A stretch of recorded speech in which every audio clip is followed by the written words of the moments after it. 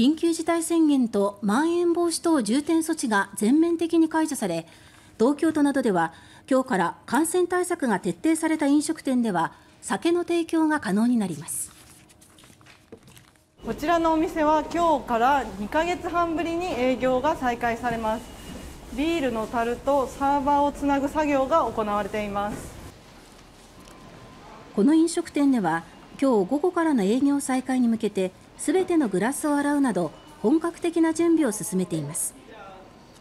東京都の場合感染対策が徹底されていると認証を受けた飲食店は午後8時まで酒の提供が可能になります。